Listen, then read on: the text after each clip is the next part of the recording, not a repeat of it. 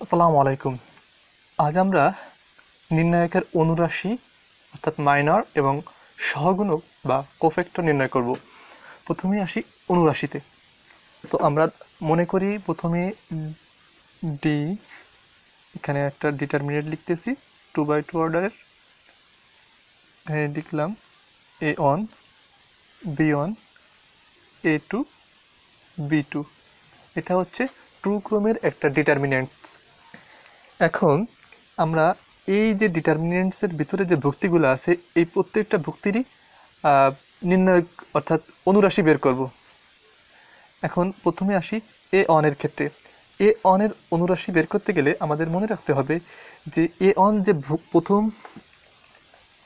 এখন প্রথমে আমরা এ অনের অনুরাশি বের করব। অনুরাশি বের করার নিয়ম হচ্ছে যে ভুক্তিটির আমরা অনুরাশি বের করব, সে ভুক্তিটির অবস্থান কোথায়? আগে সেটা নির্ণয় করতে হবে। এখানে এ অনের অবস্থানটা কোথায়? ফার্স্ট ও ফার্স্ট কলাম আমরা ফার্স্ট ও ফার্স্ট কলাম বাদ দিয়ে যে ভুক্তিটা থাকবে, অর্থাৎ এখানে আছে কি? বি টু অর্থাৎ আমরা বলতে পারি যে এ অনের অনুরাশি হচ্ছে বি টু আমরা এখানে লিখে দিই যে এ অন এর অনুরাশি হচ্ছে কি? বি টু কীভাবে বি টু দিলাম? আমরা যেহেতু দেখেছি যে এ অনের অবস্থান ফার্স্ট ও ফার্স্ট কলাম আমরা ফার্স্ট ও ফার্স্ট কলাম বাদ দিয়ে যে ভক্তিটা পেয়েছি, সেই ভক্তিটাই বসাইছি। এখন বি অনের ক্ষেত্রে আসি। বি অনের অবস্থানটা কোথায়? ফার্স্ট ও সেকেন্ড কলাম এখন আমরা ফার্স্ট ও সেকেন্ড কলাম যদি বাদ দিই, তাহলে কি আসে দেখো? তাহলে আসে, অর্থাৎ বি অন এর অনুরাশি পাবো কি? এ টু এবার সিমিলারলি আমরা আসি এ টুর ক্ষেত্রে।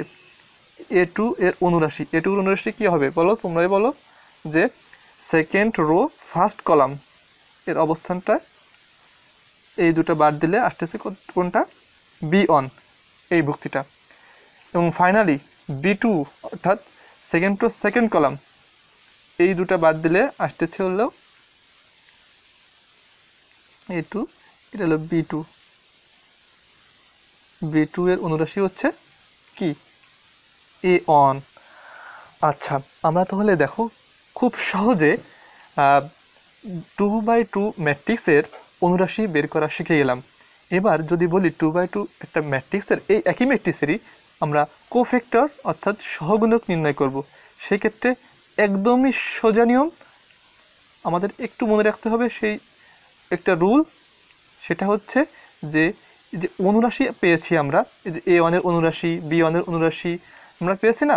ওই অনুরাশির পূর্বে জাস্ট একটা কোফেক্টরের যে চিহ্নটা, সে চিহ্নটা যুক্ত করতে হবে। এখন কোফেক্টরের চিহ্নটা আমরা কীভাবে পাবো? সেটা হচ্ছে যে গত লেকচারে আমরা দেখিয়েছিলাম যে, কোনো একটা ভুক্তির চিহ্ন বের করতে গেলে আমাদের একটা রুল আছে। সেটা হচ্ছে, আমি কোথায় লিখব? এই পাশে লিখি। এখানে লিখি যে minus one to the power হচ্ছে আই প্লাস জে আইটাকে দিয়েছিলাম হচ্ছে রো এবং যেটাকে বলেছিলাম কলাম সংখ্যা। তো এখানে সেটাই, দেখো, আমরা একই আসি এটা হচ্ছে হলো অনুরাশি। এবার আসি এ অন এ অন এর সহগুণক। সহগুণক। দেখো, এ ওয়ানের সহগুণকটা কী হবে? ওই একই অনুরাশিটা আমরা পেয়ে গেছি। এই যে ফার্স্ট রো ফার্স্ট কলাম বাদ দিয়ে যেটা থাকবে বি টু এখন এই যে এ অন এ অন এ অনের চিহ্নটা কি? সেটা বসাবো আমরা এখানে।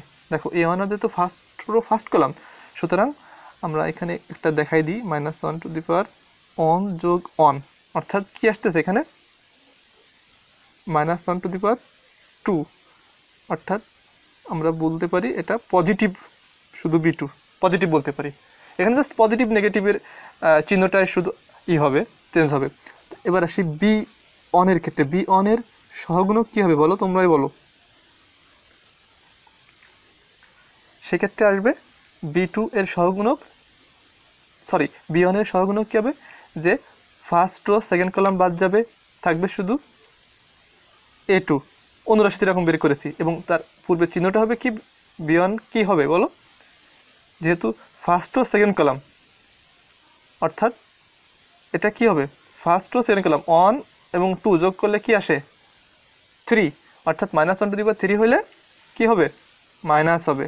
অর্থাৎ মাইনাস এ টু আমরা এখানে পাশেই লিখে দিই minus one to the power one plus two অর্থাৎ বেজোড় সংখ্যক যদি আমার ঘাত থাকে কোনো নেগেটিভ সংখ্যার, তাহলে সেটা নেগেটিভই আসবে। নেগেটিভ সাইন সিমিলারলি দেখো, এ টু এর ক্ষেত্রে আমরা তো অনুরাশি পেয়ে গেছি। সেই ক্ষেত্রে এ টু এ টু কি? Second row first column second first অর্থাৎ দুই আর এক যোগ করলে তিন আসবে। বেজোড় সংখ্যা। অর্থাৎ আমরা চোখ বন্দি করে মাইনাস দিব। হুম? এর অনুরাশি বসাবো। এবং ফাইনালি বি টু এর সহগুণক। বি টু এর সহগুণক কী হবে বলো? সেকেন্ড রো সেকেন্ড কলামে অবস্থান। অর্থাৎ টু এবং টু দুটো যোগ করব। ফোর অর্থাৎ মাইনাস ওয়ান টু ফোর যদি হয়, তাহলে কি হবে? পজিটিভ আসবে। অর্থাৎ প্লাস প্লাস চিহ্নটা না দিলেই হয়। এখানে আসতেছে শুধু এ অন ঠিক আছে? এটাই হচ্ছে অনুরাষ্ট্রীয় সহগুণকের রুল তো ধন্যবাদ থ্যাংকস ফর ওয়াচিং